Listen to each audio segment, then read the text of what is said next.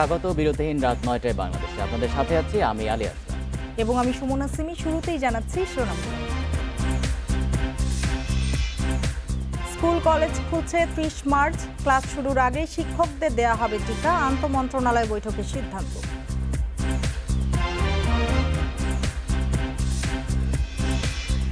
উন্নয়নশীল দেশে উত্তরণের কৃতিত্ব দেশবাসীকে দিলেন প্রধানমন্ত্রী। মর্যাদাশীল দেশ হিসেবে অবস্থান সুসংহত করার প্রত্যয়।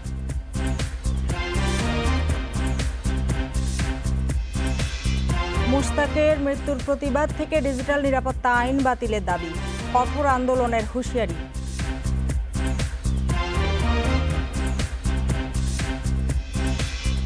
এতক্ষণ শিরোনামগুলো জানাচ্ছিলাম, এবার জানাব পুরো খবর। ত্রিশ মার্চ শুরু হতে যাচ্ছে স্কুল কলেজের ক্লাস। এর আগে সব শিক্ষককে টিকা দেওয়া হবে বলে জানিয়েছেন শিক্ষামন্ত্রী দীপুমণি। করোনার কারণে প্রায় এক বছর পরে খুলতে যাচ্ছে এসব শিক্ষা প্রতিষ্ঠান। রাতে সচিবালয়ে আন্তঃমন্ত্রণালয় সভায় এই সিদ্ধান্ত জানান শিক্ষামন্ত্রী। আসন্ন রমজানে ছুটি কমানোর পরিকল্পনার কথা জানানো হয় বৈঠকে। এছাড়া জুলাই মাসে এসএসসি পরীক্ষা নেয়ার পরিকল্পনার কথাও জানানো হয়। মার্চ মাস থেকে ষাট দিন ক্লাস নিয়ে এসএসসি এবং আশি দিন ক্লাস নিয়ে এইচএসসি পরীক্ষা নেওয়া হবে বলে জানানো হয় সভায়।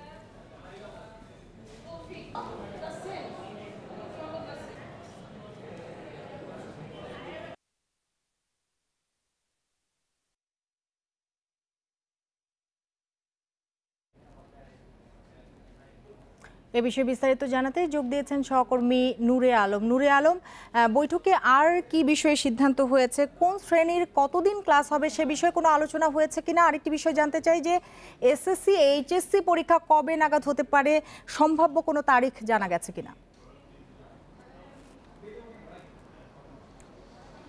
এসএসসি এবং এইচএসসি পরীক্ষার্থী যারা এই বছরের এই পরীক্ষার্থীদের ক্লাস হবে সপ্তাহে ছয় দিন করে আর আগামী বছরের যারা পরীক্ষার্থী এসএসসি এবং এইচএসসি পরীক্ষার্থী, তাদের ক্লাস হবে সপ্তাহে দুই দিন করে। পঞ্চম শ্রেণির শিক্ষার্থীদের ক্লাস হবে সপ্তাহে পাঁচ দিন করে। আর অন্যান্য যে শ্রেণীগুলো রয়েছে, তাদের ক্লাস হবে প্রাথমিকভাবে সপ্তাহে একদিন করে। এমনটাই সিদ্ধান্ত নেওয়া হয়েছে আজকের আন্তঃমন্ত্রণালয়ে যে বৈঠক হয়েছে সেখান থেকে। আর এসএসসি পরীক্ষার ক্ষেত্রে যেটি আমাদেরকে জানানো হয়েছে যে, ত্রিশ মার্চ থেকে ক্লাস শুরু হওয়ার পরে ষাট দিন ক্লাস নিয়ে তারপরে পরীক্ষাটি হবে।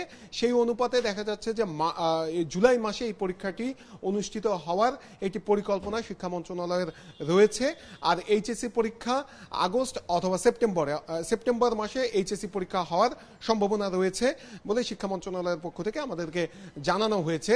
আর এই শিক্ষার্থীদের ক্লাসের জন্য, বিশেষ করে পরীক্ষার্থীদের ক্লাসের জন্য এবার ঈদের ছুটিও অনেকটাই কমানো হবে বলে শিক্ষামন্ত্রী তার এই মিটিং পরবর্তী যে সাংবাদিকদের সাথে কথা বলেছেন, সেখানে শিক্ষামন্ত্রী জানিয়েছেন যে এবার রমজান মাসের ছুটিও কমানো হবে, ঈদের ছুটিও কিছুটা সংকুচিত করা হবে। যেহেতু এক বছরের এক বছর ধরে শিক্ষা প্রতিষ্ঠান বন্ধ, তাই এই ক্ষতি পুষিয়ে নেওয়ার জন্য একদম টানা ক্লাস নেওয়া হবে, বিশেষ করে পরীক্ষার্থীদের জন্য।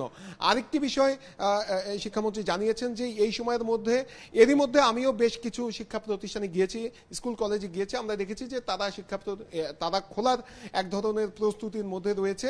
আমি রাজধানীর বেশ কয়েকটি স্কুলে গত কয়েকদিনের মধ্যে গিয়েছিলাম। তারা দেখছিলাম যে তারা তাদের স্কুলের যে পরিবেশ, সেটি অনেকটাই পরিবর্তন করে ফেলেছেন। নিয়মিত পরিষ্কার পরিচ্ছন্ন করা হচ্ছে।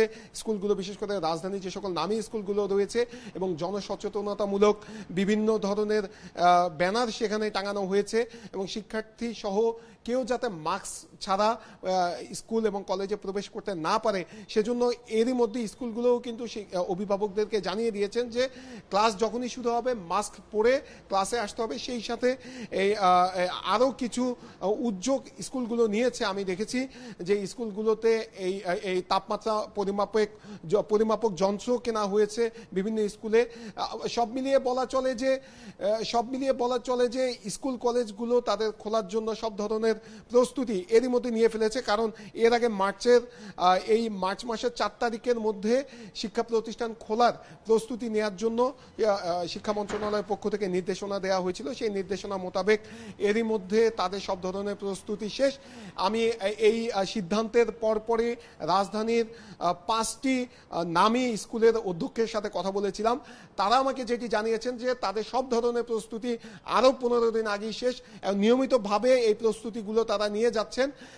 যখনই শিক্ষা মন্ত্রণালয়ের পক্ষ থেকে ঘোষণা আসবে যে স্কুল কলেজ খুলে দেওয়া হবে, তখনই তারা স্কুল কলেজ খুলে দিবেন। আর এর আগের বছর আমরা দেখেছি যে এসএসসি, এইচএসসি পরীক্ষায় বাতিল করা হয়েছিল। তাদেরকে জেএসসি এবং এসএসসির ফলাফলের ওপর মূল্যায়ন করে নম্বর দেওয়া হয়েছে। শিক্ষামন্ত্রী কিন্তু স্পষ্টই আরও এক মাস আগেই জানিয়ে দিয়েছেন যে এবার পরীক্ষা বাতিলের কোনো সম্ভাবনা নেই। সেই লক্ষ্যে এসএসসি এবং এইচএসসি পরীক্ষার সিলেবাসও সংক্ষিপ্ত করা হয়েছে এবং সেই সিলেবাস কীভাবে পড়ানো হবে, তার জন্য একটি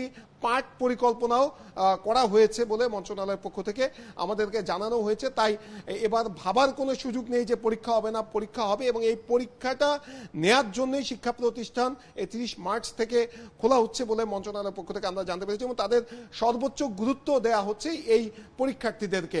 সেই সঙ্গে বিশ্ববিদ্যালয়ের প্রসঙ্গ এই শিক্ষামন্ত্রী এনেছেন এবং বলেছেন যে ত্রিশ মে চব্বিশ মে থেকে যে বিশ্ববিদ্যালয় খোলা হবে, এই চব্বিশ মের মধ্যে বিশ্ববিদ্যালয়ের সকল শিক্ষক এবং শিক্ষার্থীদেরকে করোনার টিকা দিয়ে দেওয়া হবে। এর পরপরই এই বিশ্ববিদ্যালয়গুলো খুলে দেওয়া হবে এবং এই- বিশ্ববিদ্যালয়গুলো খুলে দেওয়া হবে এবং বিশ্ববিদ্যালয় খোলার জন্য, বিশ্ববিদ্যালয়গুলোকে প্রস্তুতি নেওয়ার জন্য শিক্ষামন্ত্রী আহ্বান জানিয়েছেন।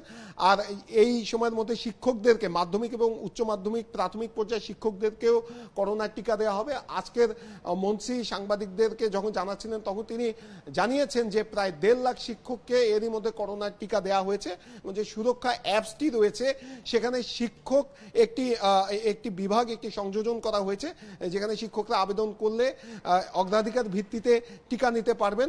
এই তিরিশ মার্চের মধ্যেই তাদেরকে টিকা দিয়ে দেওয়া হবে। পরবর্তীতে স্কুল, কলেজ খুলে ফেলা হবে। আমি অভিভাবক এবং শিক্ষার্থীদের সাথে কথা বলেছিলাম। তারাও বলছেন যে এই সিদ্ধান্তে তারা খুশি। দীর্ঘদিন ধরে স্কুল বন্ধ থাকার ফলে শিক্ষার্থীরা কিছুটা মানসিকভাবে বিপর্যস্ত। তাই এখন তাদের অপেক্ষা কখন তিরিশ মার্চ আসবে, কখন তারা আবার স্কুল, কলেজে ফিরতে পারবেন। এই ছিল আমার কাছে এখানকার সবশেষ তথ্য। উন্নয়নশীল দেশ হওয়ার কৃতিত্ব দেশবাসীকে দিলেন প্রধানমন্ত্রী শেখ হাসিনা। আর এই অর্জন নতুন প্রজন্মকে উৎসর্গ করে বললেন, এক যুগ আগের বাংলাদেশ আর আজকের বাংলাদেশ এক নয়। আজকের বাংলাদেশ এক বদলে যাওয়া দেশ।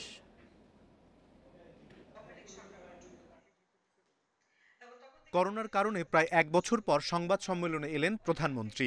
গণভবন থেকে ভার্চুয়ালি তিনি কথা বলেন প্রধানমন্ত্রীর কার্যালয়ে থাকা সাংবাদিকদের সঙ্গে। স্বল্পোন্নত থেকে উন্নয়নশীল দেশে উত্তরণের অর্জন হচ্ছে। আজকের যে অর্জন, স্বল্পোন্নত দেশ থেকে উন্নয়নশীল দেশে উত্তরণ, তা আমাদের বিগত বারো বছরে নিরলস পরিকল্পনা, পরিশ্রম ও প্রচেষ্টার ফসল। আর দেশের মানুষই কিন্তু এসব কাজ করে করে দিয়েছেন। আমরা শুধু সরকারি থেকে নীতি সহায়তা দিয়ে সুযোগ তৈরি করে দিয়েছি। আর সেই সাথে আমাদের সকলে মিলিতভাবে আমরা কাজ করেছি। উন্নয়নশীল দেশ হওয়ায় বিশ্বে প্রত্যয়ী ও মর্যাদাশীল দেশ হিসেবে জায়গা করে নেবে জানিয়ে একে সুসংহত ও টেকসই করায় জোর দেন সরকার প্রধান। বদলে যাওয়া দেশকে বুঝতে আর্থিক ও অন্যান্য সূচকে নজর রাখার পরামর্শও তার। এক যুগ আগের বাংলাদেশ আর আজকের বাংলাদেশ কিন্তু এক নয়। প্রিয় সাংবাদিকবৃন্দ, নিশ্চয়ই আপনারা সেটা স্বীকার করবেন। আজকের বাংলাদেশ এক বদলে যাওয়া বাংলাদেশ। সামনে এগিয়ে যাওয়ার সব রকম প্রস্তুতি আমাদের আছে। উন্নয়নশীল দেশ হিসেবে কী কী করণীয়, সে ব্যাপারেও আমাদের চিন্তাভাবনা রয়েছে, সেটাও আমরা পদক্ষেপ নিচ্ছি। এবং আমরা কারোর মুখোমুখি না, আমরা নিজের পায়ে দাঁড়াবো, আত্মমর্যাদা নিয়ে চলবো, বিশ্ব দরবারে মাথা উঁচু করে চলবো এবং আমাদের উন্নয়নের কাজ আমাদের নিজেদের বাজেট থেকেও আমরা করতে পারব। উন্নয়নের চলমান গতি বজায় থাকলে বাংলাদেশ অদূর ভবিষ্যতে উন্নত দেশের কাতারে উঠবে বলেও আশা প্রধানমন্ত্রী শেখ হাসিনার। অনিমেষ কর ইন্ডিপেন্ডেন্ট নিউজ ঢাকা। এ নিয়ে আলোচনার জন্য আমাদের সঙ্গে আছেন রাজনৈতিক বিশ্লেষক সুভাষ সিংহ রায়। জনাব সুভাষ সিংহ রায় আপনাকে স্বাগত জানাচ্ছি ইন্ডিপেন্ডেন্ট সংবাদে।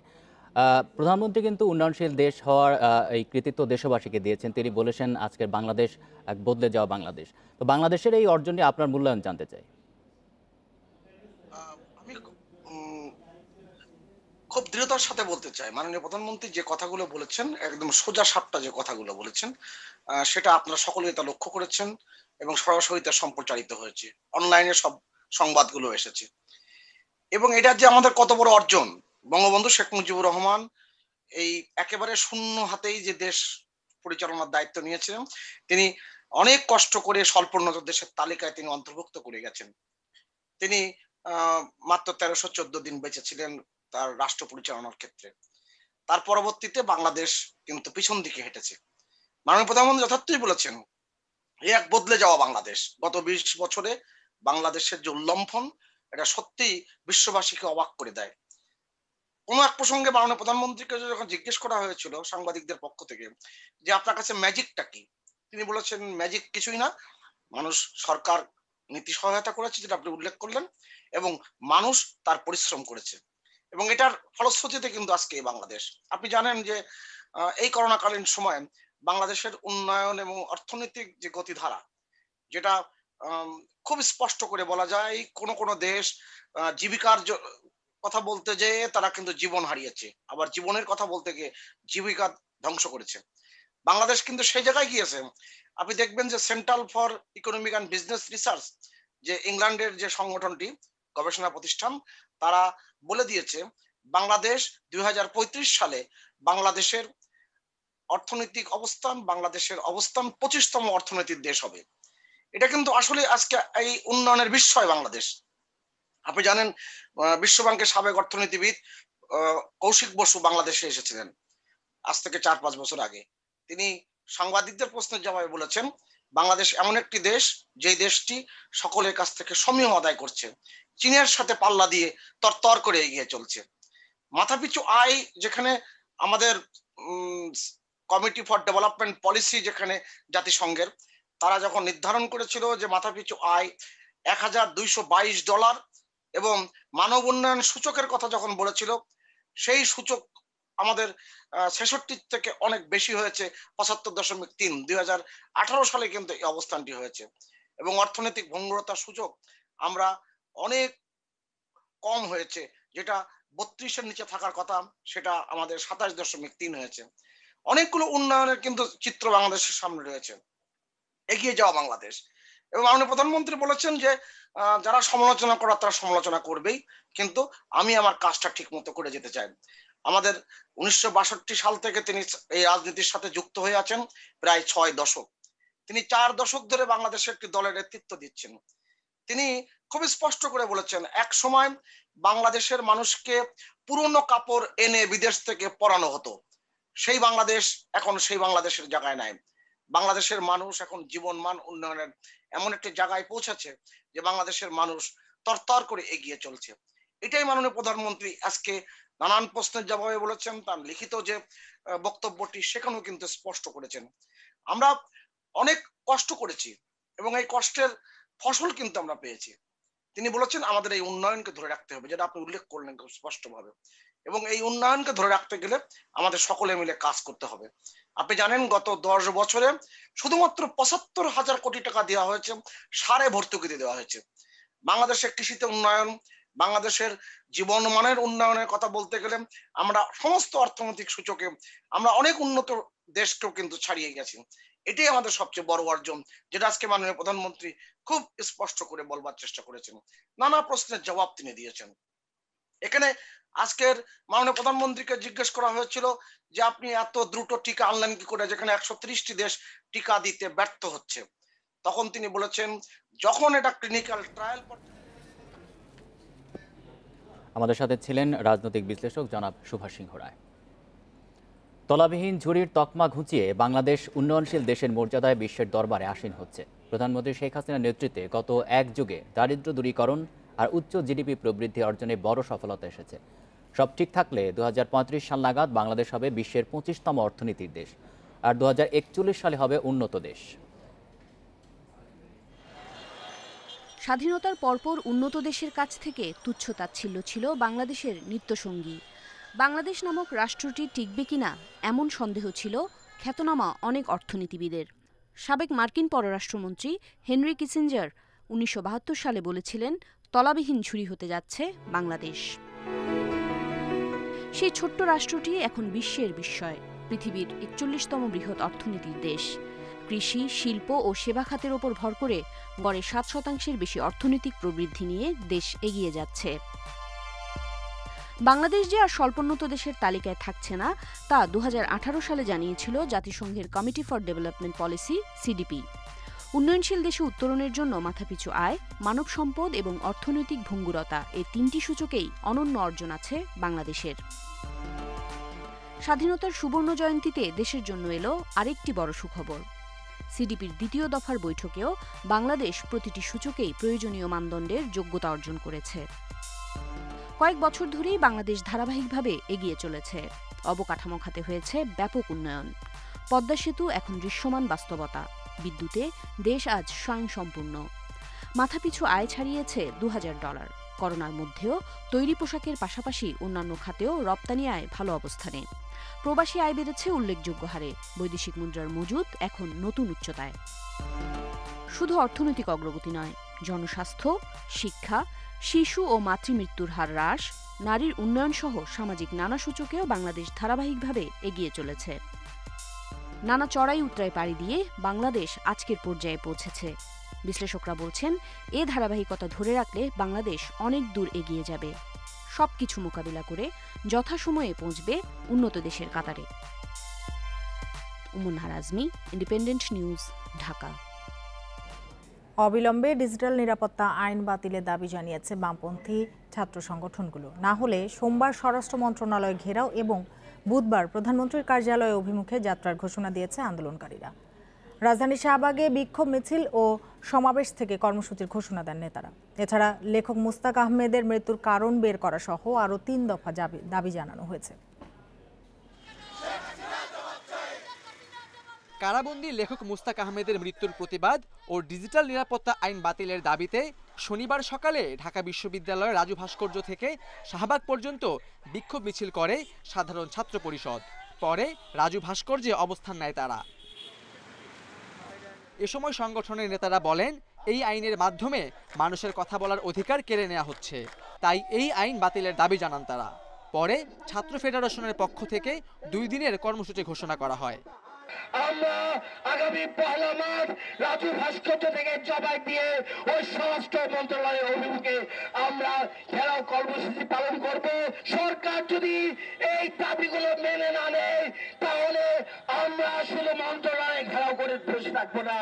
আগামী দিনে আমরা ওই গণভবন, ওই বঙ্গভবন, সেটাও ঘেরাও কর্মসূচির মাধ্যমে এদেশের ছাত্র, তরুণ, যুবতা তাদের অধিকার প্রতিষ্ঠা করবে।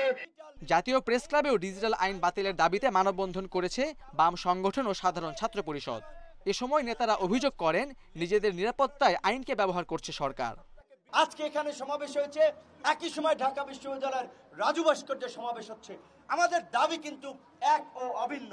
একটাই দাবি এই বিতর্কিত কালো আইন বাতিল করতে হবে এবং মোস্তাককে যেভাবে আমাদের একজন বক্তা বলেছেন জুডিশিয়ারি হেফাজতে হত্যা করা হয়েছে।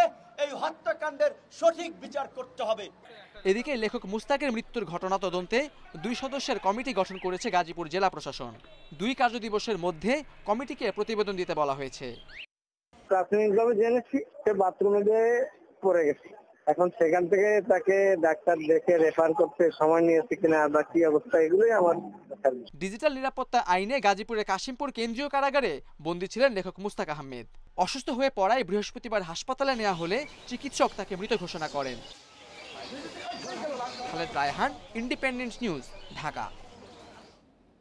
এদিকে কারাগারে মুশতাকের মৃত্যু প্রসঙ্গে প্রধানমন্ত্রী শেখ হাসিনা বলেছেন কারও মৃত্যু কাম্য নয় তবে সেটাকে কেন্দ্র করে বিশৃঙ্খলাও অনাকাঙ্ক্ষিত। আর ডিজিটাল নিরাপত্তা আইন প্রশ্নে তিনি জানান, কেউ যেন জঙ্গি, সন্ত্রাসবাদ বা দেশের ক্ষতি করতে না পারে, সেজন্যই আইনটি করা হয়েছে। ঘটনা ভেদে কারও কারও কাছে অপপ্রয়োগ মনে হলেও আইন নিজ গতিতেই চলছে। এক প্রশ্নের জবাবে আল জাজিরা প্রসঙ্গে প্রধানমন্ত্রী বলেন, একটা চ্যানেল কি বলল না বলল তাতে কিছু যায় আসে না। দেশবাসী বিচার করবে কোনটি ঠিক। মাননীয় প্রধান, নেতৃবৃন্দ আইনের অপপ্রয়োগ হচ্ছে কি না, এটা হলো দৃষ্টিভঙ্গির ব্যাপার। কারণ কোনটা আপনার কাছে অপপ্রয়োগ আর কোনটা অপপ্রয়োগ না, এটা একটা আপেক্ষিক ব্যাপার। কিন্তু আমি তো মনে করি যে আইন তার নিজ গতিতেই চলছে এবং চলবে। যদি কেউ অপরাধ না করে, তার বিচারে শাস্তি হবে না। কিন্তু আদৌ অপরাধ হচ্ছে কি না বা এমন কোনো কাজ করছে কি না যেটা দেশের ক্ষতি হচ্ছে বা জনগণের ক্ষতি হচ্ছে, সেই কাজ থেকে বিরত করা। কারাগারে মারা যাওয়া মোস্তাক আহমেদ ছিলেন দেশের প্রথম কুমির খামারের স্বপ্নদ্রষ্টা ও অন্যতম অংশীদার। এখন সেই খামারের খামারের মালিক আলোচিত প্রশান্ত কুমার হালদার। তবে আর্থিক খাতে দুর্নীতির দায় নিয়ে পিকে হালদার পালিয়েছেন বিদেশে। আর এ কারণে অরক্ষিত হয়ে পড়েছে খামারটি। প্রকৃতি ও প্রাণীকে ভালোবাসতেন মুশতাক আহমেদ। তাই কুমিরের প্রতি আলাদা আগ্রহ ছিল তার।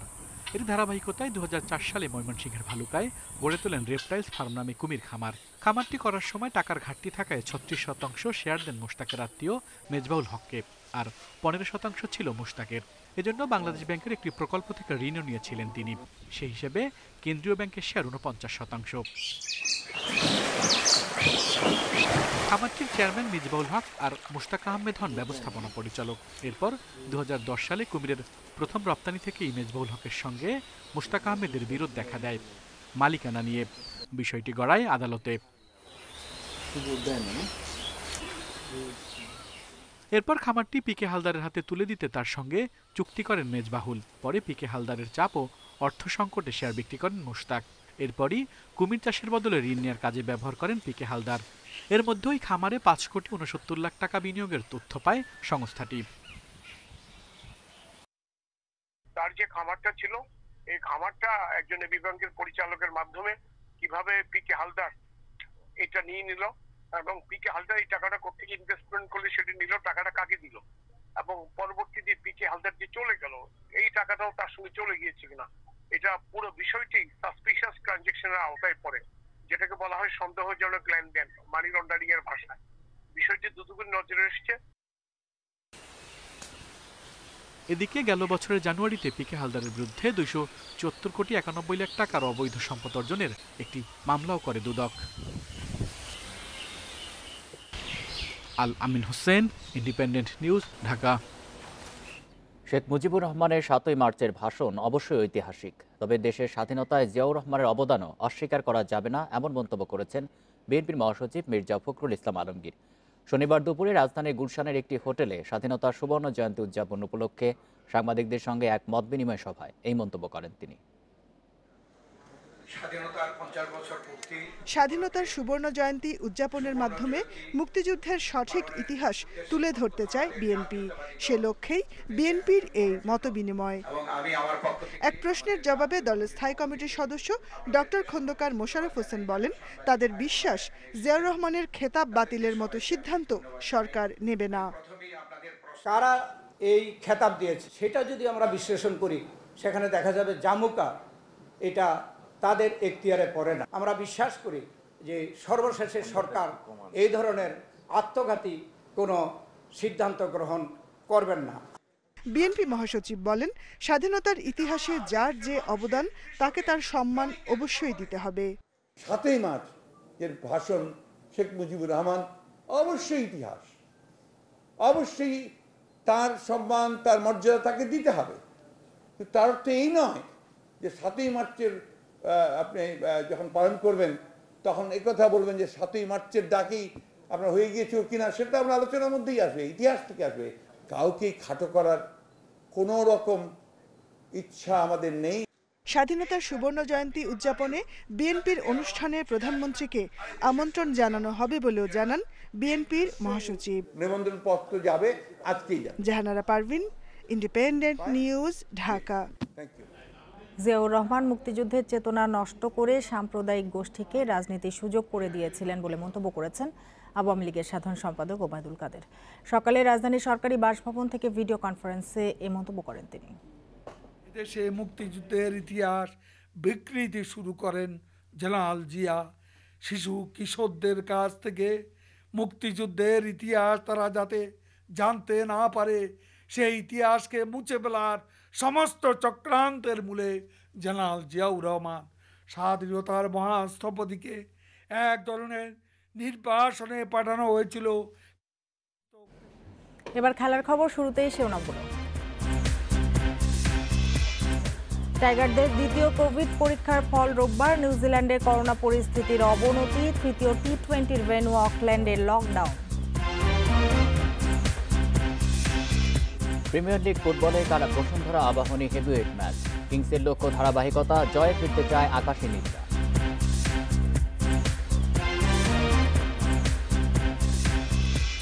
নিউজিল্যান্ডে বাংলাদেশ দলের সদস্যদের দ্বিতীয় কোভিড টেস্ট সম্পন্ন হয়েছে। ফল পাওয়া যাবে চব্বিশ ঘণ্টা পর। প্রথম টেস্টে নেগেটিভ হওয়ায় দ্বিতীয় টেস্টে ভালো কিছুর আশা ম্যানেজমেন্টের। কোয়ারেন্টিনের শেষ দিনে আরও একবার করা হবে টেস্ট। ফলাফল নেগেটিভ আসলে নিউজিল্যান্ডে মাস্ক ছাড়াই চলাফেরা করতে পারবে ক্রিকেটাররা।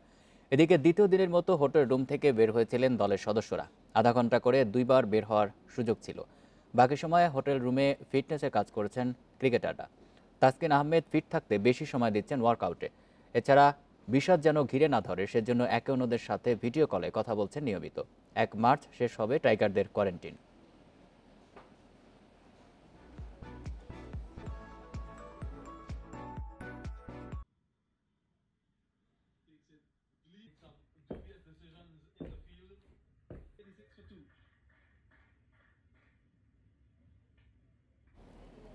এদিকে করোনা পরিস্থিতির অবনতি হয়েছে নিউজিল্যান্ডে অকল্যান্ডে লকডাউন জারি করেছে দেশটির সরকার। এতে শঙ্কায় পড়েছে বাংলাদেশ নিউজিল্যান্ড সিরিজের তৃতীয় টি টোয়েন্টি ম্যাচটি। অকল্যান্ডে এক সপ্তাহের জন্য লেভেল থ্রি করোনা লকডাউন জারি করেছে নিউজিল্যান্ড মাউন্ট মঙ্গানুইতেও একই অবস্থা। যদিও অকল্যান্ড ছাড়া বাকি শহরগুলোতে চলছে লেভেল টু সতর্কতা। এতে নিউজিল্যান্ড অস্ট্রেলিয়া চলমান টি টোয়েন্টি সিরিজের বাকি ম্যাচ হবে ক্লোজ ডোরে। পরিস্থিতির অবনতি হলে শঙ্কায় পড়তে পারে নিউজিল্যান্ড ও বাংলাদেশের ওয়ানডে ও টি টোয়েন্টি সিরিজ। বিশে মার্চ প্রথম ওয়ানডে হওয়ার কথা ডানেডিনে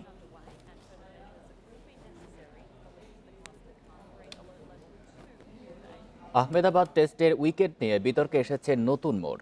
আনুষ্ঠানিকভাবে আইসিসির কাছে অভিযোগ করার কথা ভাবছে ইংলিশ ম্যানেজমেন্ট। এদিকে, আহমেদাবাদের উইকেটের পুরো রেটিং পাওয়া উচিত কিনা, এই ইস্যুতে দুই ভাগে বিভক্ত ক্রিকেট বিশ্ব।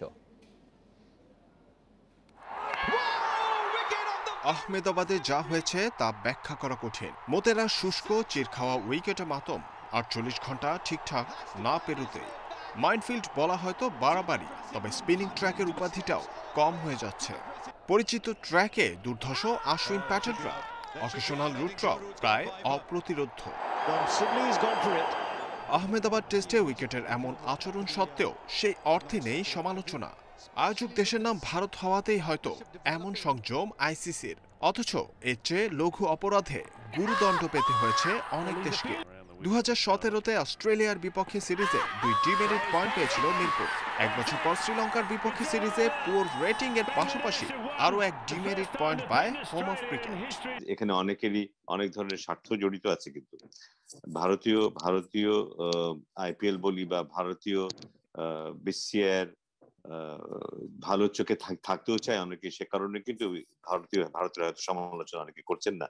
প্রথম টেস্ট হারার পরে they wanted to make sure তারা যেন পরবর্তী টেস্টগুলো জিতে এবং সে কারণে উইকেটের যথেষ্ট সুযোগ সুবিধাটা তারা নিয়েছে। মোতেরার উইকেটে কি পুয়ার রেটিং পাওয়া উচিত? এই প্রসঙ্গে বলতে গেলে প্রায় দুই ভাগে বিভক্ত। ক্রিকেট দুনিয়া। টেস্ট ক্রিকেটে সাধারণত চতুর্থ বা পঞ্চম দিনের পর উইকেটের সহায়তা পান স্পিনাররা।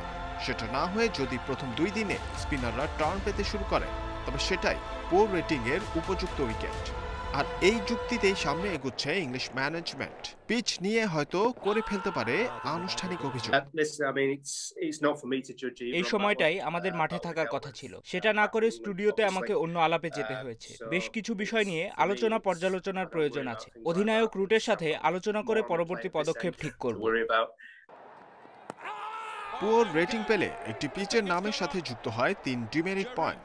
পাঁচ বছরের মধ্যে একই ভেনু যদি আরও পাঁচ ডিমেরিট পয়েন্ট পায়, তবে তাকে এক বছরের জন্য নিষিদ্ধ করে ICC. Zahirul Islam Independent News premier league ফুটবলে কাল heavy heavyweight match.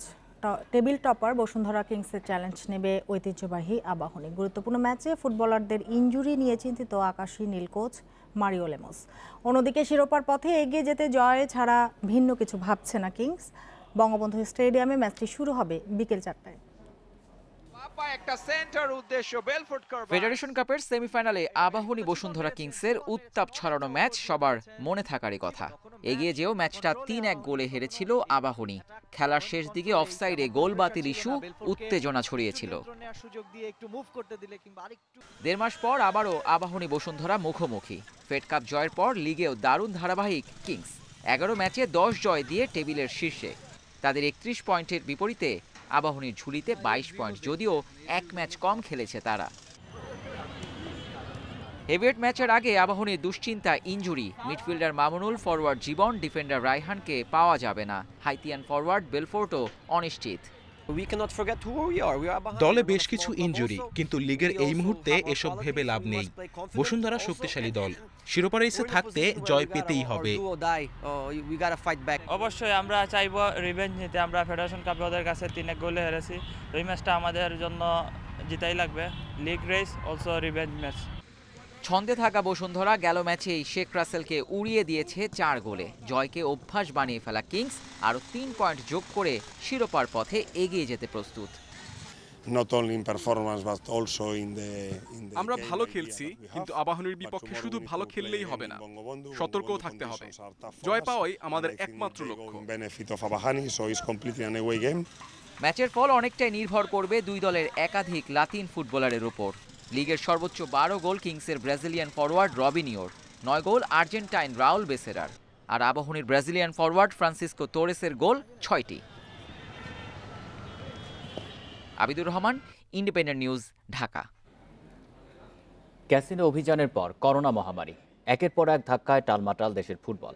আর্থিক মন্দার অজুহাতে সবচেয়ে বেশি ভোগান্তি ফুটবলারদেরই। মোহাম্মদ আলী বক্সিং স্টেডিয়ামে এক খুপড়ি ঘরে থাকছেন ভিক্টোরিয়ার চব্বিশ ফুটবলার। আবাসন সমস্যায় ভুগতে হচ্ছে অন্য ক্লাবগুলোকেও।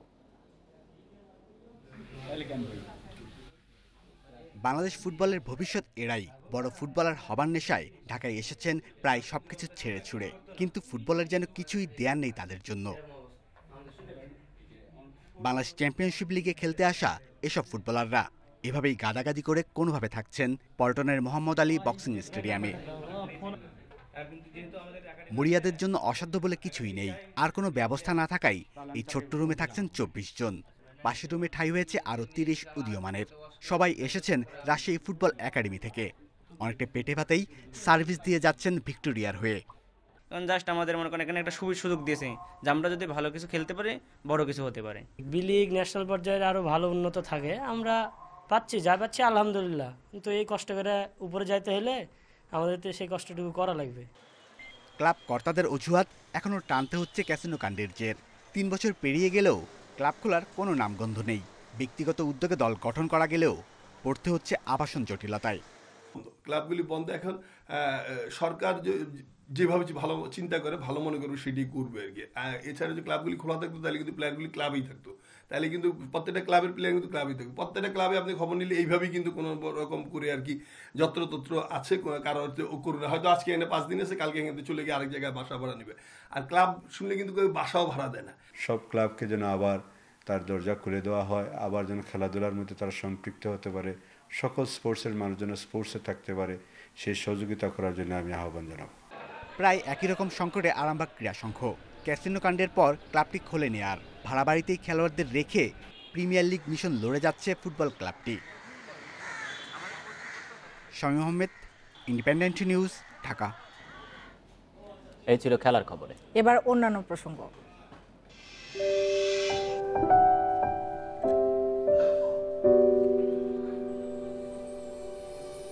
পরিত্যক্ত বস্তু থেকে শিল্পকর্ম তৈরির ধারণা জনপ্রিয়তা পাচ্ছে বিভিন্ন দেশে। এবার এমন সব শিল্পকর্ম নিয়ে প্রদর্শনীর আয়োজন হলো জর্ডানে।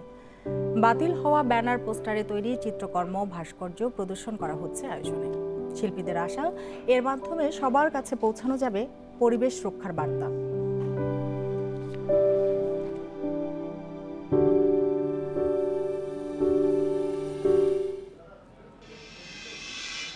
এ নিয়ে প্রতিবেদন থাকবে সংবাদের শেষ অংশে। দেশে করোনায় আরও পাঁচজনের মৃত্যু হয়েছে, এর মধ্যে পুরুষ চার এবং নারী একজন। এ নিয়ে মোট প্রাণহানি হলো আট হাজার চারশো জনের। দুশো চোদ্দোটি ল্যাবে চব্বিশ ঘন্টায় বারো হাজার তিনশো আটচল্লিশ নমুনা পরীক্ষায় করোনা শনাক্ত হয়েছে চারশো সাত জনের। পরীক্ষা বিবেচনায় শনাক্তের হার তিন দশমিক তিন শূন্য শতাংশ। শনিবার স্বাস্থ্য অধিদপ্তরের বিজ্ঞপ্তিতে জানানো হয়, দেশে মোট করোনা আক্রান্তের সংখ্যা দাঁড়াল পাঁচ লাখ পঁয়তাল্লিশ হাজার আটশো একত্রিশ জনে। সুস্থ হয়েছেন আরও ছয়শো নয় জন। এ নিয়ে মোট সুস্থ চার লাখ ছিয়ানব্বই হাজার একশো সাতজন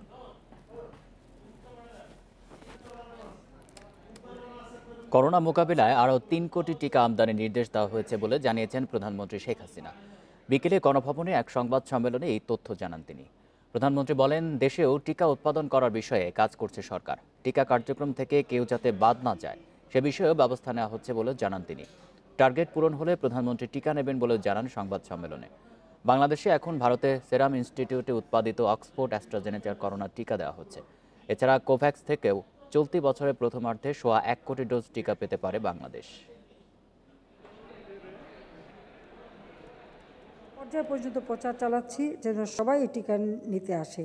এবং আজকে আমরা ইতিমধ্যে আমি নির্দেশ দিয়েছি যে আরও তিন কোটি ডোজ কেনার জন্য আমরা ইতিমধ্যে ব্যবস্থা নিচ্ছি যাতে করে আমাদের আমাদের যেটা আছে এটা প্রথম ডোজ দেওয়ার সাথে সাথে দ্বিতীয় ডোজ আমরা শুরু করব। সাথে সাথেই যেন আবার আমাদের হাতে এসে যায় যেন একটা মানুষও এই টিকা থেকে বাদ না যায়। ভিসা প্রক্রিয়া আরও সহজ করছে ভারত। পঁয়ষট্টি বছরের বেশি বয়সীরা পাবেন অন অ্যারাইভাল ভিসা। এছাড়া মুহুরির চরসহ দুদেশের মধ্যে থাকা সীমান্ত সমস্যার সমাধানেও হয়েছে ফলপ্রসূ আলোচনা। স্বরাষ্ট্র সচিব পর্যায়ের বৈঠক শেষে এসব কথা জানিয়েছেন সিনিয়র সচিব মোস্তফা কামাল উদ্দিন। হোটেল ইন্টারকন্টিনেন্টালে বাংলাদেশ ভারতের স্বরাষ্ট্র সচিব পর্যায়ের বৈঠক করোনার কারণে হয়েছে ভার্চুয়ালি। পরে মন্ত্রণালয়ের জননিরাপত্তা বিভাগের সিনিয়র সচিব জানান, সীমান্তে প্রাণঘাতী অস্ত্র ব্যবহার বন্ধ ও সীমান্ত হত্যা শূন্যে নামিয়ে আনতে আবারও ঢাকাকে আশ্বস্ত করেছে দিল্লি। পাশাপাশি জঙ্গি ও মৌলবাদী গোষ্ঠী যেন দুদেশের ভূমি ব্যবহার করতে না পারে সে বিষয়ে হয়েছে মতৈক্য। তারা বর্ডারে নন লেথাল ওয়েপন ইউজ করবে। অর্থাৎ যেটা যে গুলিটা করলে মানুষ মৃত্যুবরণ না করেন আর কি, ওই ধরনের ওয়েপন ইউজ করবে। তারা এবারও আমাদেরকে আশ্বস্ত করেছেন বর্ডারে নন লেথাল ওয়েপন ইউজ করবে, যাতে বর্ডার ক্লিক যাতে শূন্য পর্যায়ে দিয়ে নামিয়ে আনা যায়। মুহুরির চরসহ দুদেশের মধ্যে থাকা সীমান্ত সমস্যার সমাধানে ফলপ্রসূ আলোচনার কথাও জানিয়েছে সচিব। এছাড়া ভিসা প্রক্রিয়া সহজ করতে রাজি হয়েছে ভারত। পঁয়ষট্টি বছরের বেশি বয়সীদের দেয়া হবে অন অ্যারাইভাল ভিসা তারা এটাতে অ্যাগ্রি করছেন সিক্সটি ফাইভের উপরে যারা আছেন তাদেরকে অনারাইভেলি ভিসা দিবে চিকিৎসাতে দিবে। তারপরে এছাড়াও যারা বিভিন্ন ধরনের ব্যবসা বাণিজ্যের কাজে ভারতে ফ্রিকুয়েন্টলি আসা যাওয়া করেন তাদেরকে যাতে অনারাইভেল ভিসা দেওয়া হয় সেটা আমরা রিকোয়েস্ট করেছি। বৈঠকে দুদেশের সহযোগিতা আরও বাড়ানোর প্রত্যয় জানিয়েছে ভারত আর করোনা টিকা পাঠানোয় ধন্যবাদ জানিয়েছে বাংলাদেশ। ভারতের পক্ষ আমাদেরকে আশ্বস্ত করেছেন ভবিষ্যতে আমাদের সম্পর্ক আরও উন্নত হবে। Hasif Mahmud Shah Independent News Dhaka. পঞ্চম ধাপে উনত্রিশটি পৌরসভা নির্বাচন আগামীকাল। সকাল আটটা থেকে বিকেল চারটা পর্যন্ত হবে ভোট গ্রহণ। কেন্দ্রে নির্বাচনে সামগ্রী পৌঁছানো সহ সব প্রস্তুতি সম্পন্ন করেছে নির্বাচন কমিশন। সুষ্ঠু নির্বাচন অনুষ্ঠানের জন্য মাঠ প্রশাসনকে দেওয়া হয়েছে কঠোর নির্দেশনা। বিশ জেলার উনত্রিশটি পৌরসভার ভোটে অংশ নিচ্ছেন আওয়ামী লীগ, বিএনপি সহ কয়েকটি রাজনৈতিক দলের প্রার্থী। সবকটি পৌরসভায় ভোট হবে ইলেকট্রনিক ভোটিং মেশিনে। একত্রিশটি পৌরসভায় ভোট হওয়ার কথা থাকলেও উচ্চ আদালতের রায়ে নির্বাচন স্থগিত হয়েছে যশোরে। আর ভোট গ্রহণের আগ মুহূর্তে জামালপুর দেওয়ানগঞ্জ পৌরসভায় ভোট স্থগিত করেছে নির্বাচন কমিশন। এদিকে চট্টগ্রামের রাউজান পৌরসভায় মেয়র ও কাউন্সিলর সহ সব পদের প্রার্থী বিনা প্রতিদ্বন্দ্বিতায় জয় পেয়েছেন। নির্বাচনী পরিবেশ নিয়ন্ত্রণে এরই মধ্যে মাঠে রয়েছে আইনশৃঙ্খলা রক্ষাকারী বাহিনী। ভোট সুষ্ঠু করতে প্রতিটি কেন্দ্রে ম্যাজিস্ট্রেট ছাড়াও থাকবে পুলিশ, র্যাব ও বিজিবির টহল। যাতে ভোটাররা নির্বিঘ্নে ভোট কেন্দ্রে আসতে পারে, সেজন্য বিভিন্ন এলাকাতে যেমন আমাদের মোবাইল ডিউটি থাকবে স্ট্যান্ড বাই ডিউটি থাকবে, স্পেশাল স্ট্যান্ড বাই থাকবে আবার সিভিলও আমাদের লোকজন ডিউটি করবে। এর আগে চার ধাপের পৌর নির্বাচনে কিছু জায়গায় সহিংসতা হলেও এবার সংঘাতহীন ভোটের প্রত্যাশা নির্বাচন কমিশনের। এবার আমাদের পৌরসভার সবগুলোই আমরা ইভিএমে ভোট করছি। সুতরাং এখানে কোনো ব্যালট পেপারে যে ছেঁড়াছড়ির কোনো বিষয় নাই। এটি ইভিএমে তারা গিয়ে তার ফিঙ্গারপ্রিন্ট দেবেন। যার ফিঙ্গারপ্রিন্ট তিনি শুধু ভোট দিতে পারবেন। পটিয়ার যে বিষয়টি বলেছেন একজন মারা গিয়েছেন নিঃসন্দেহে এটা দুঃখজনক। আমরা সবাই এটার জন্য দুঃখ প্রকাশ করি। কিন্তু আমরা আশা করছি ইনশাল্লাহ আগামী দিনে এরকম ঘটনা ঘটবে না। এদিকে চট্টগ্রামে এক মতবিনিময় সভায় নির্বাচন কমিশনার শাহাদাত হোসেন চৌধুরী বলেন প্রার্থীদের যে কোনো উপায়ে জেতার ইচ্ছা নির্বাচনী পরিবেশ নষ্ট করে। আমাদের প্রতিদ্বন্দ্বী প্রার্থী কিছু কিছু রাজনৈতিক কর্মী তারাই কিন্তু নির্বাচনী ব্যবস্থাটাকে নষ্ট করে দেয়। সেই জায়গাটাই আমার বক্তব্য যে আমরা সেই জায়গাটাই কিন্তু আমরা একটু আমাদের হস্তক্ষেপটা আমরা করব। পঞ্চম ধাপে নির্বাচনের তফসিল ঘোষণা করা হয় উনিশ জানুয়ারি। এই নির্বাচনে উনত্রিশ পৌরসভায় মেয়র পদে প্রতিদ্বন্দ্বিতা করছেন ছিয়ানব্বই জন। Shamima Rahman Independent News desk. গণতন্ত্র ফেরাতে এবং সেনা অভ্যুত্থানের বিরুদ্ধে যে কোনো কঠোর পদক্ষেপ নিতে জাতিসংঘের দ্বারস্থ হয়েছে মিয়ানমার। শুক্রবার জাতিসংঘের সাধারণ অধিবেশনে আন্তর্জাতিক সহায়তার আহ্বান জানান মিয়ানমারের রাষ্ট্রদূত। মিয়ানমারের চলমান সংকট নিরসনে এবার জাতিসংঘের দ্বারস্থ হলেন দেশটির গণতন্ত্রপন্থী প্রতিনিধি। শুক্রবার জাতিসংঘের সাধারণ অধিবেশনে বক্তব্য রাখেন দেশটির রাষ্ট্রদূত। এ সময় গণতান্ত্রিক সরকারের হাতে ক্ষমতা ফিরিয়ে দেওয়ার পাশাপাশি সাধারণ মানুষের বাক স্বাধীনতা রক্ষায় সহযোগিতার আহ্বান জানান Kyaw Moe Tun. We need further strongest possible action from the international community. Myanmar সেনাবাহিনীর বিরুদ্ধে এই মুহূর্তে কার্যকর কঠোর পদক্ষেপের প্রয়োজন দেশটির সাধারণ মানুষ গণতন্ত্র ফিরে পেতে চায় আমি চাইব আন্তর্জাতিক মহল মিয়ানমারের জনগণের আহ্বানে সাড়া দেবে for the end of military coup. বক্তব্য শেষ করে তিন আঙ্গুলে সেলুট জানান তিনি মিয়ানমারে সেনা বিরোধী বিক্ষোভে এই প্রতীকটি ব্যবহার করে আসছেন গণতন্ত্রপন্থীরা। মিয়ানমারের রাষ্ট্রদূতের বক্তব্যকে সাহসী পদক্ষেপ উল্লেখ করে আন্তর্জাতিক মহলের প্রতি এই আহ্বানে সাড়া দেওয়ার আহ্বান জানান গ্লোবাল জাস্টিস সেন্টারের প্রেসিডেন্ট আকিলা রাধাকৃষ্ণন। চলমান সংকট নিরসনে একদিকে চলছে কূটনৈতিক প্রচেষ্টা অন্যদিকে বিক্ষোভ কর্মসূচির মাধ্যমে দাবি আদায়ের চেষ্টা চালাচ্ছে মিয়ানমারের গণতন্ত্রপন্থীরা। সূচিসহ শীর্ষ নেতাদের মুক্তির দাবিতে তিন সপ্তাহ ধরে গুরুত্বপূর্ণ সব শহরে চলছে বিক্ষোভ। সেই সাথে চলছে নিরাপত্তা বাহিনীর তৎপরতা।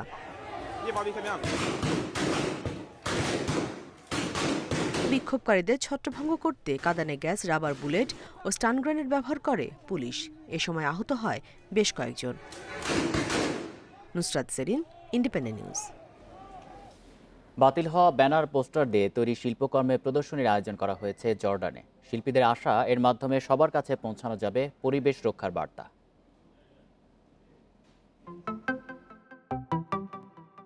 পরিত্যক্ত বস্তু থেকে শিল্পকর্ম তৈরির ধারণা জনপ্রিয়তা পাচ্ছে বিভিন্ন দেশে। এবার এমন সব শিল্পকর্ম নিয়ে প্রদর্শনীর আয়োজন হল জর্ডানে।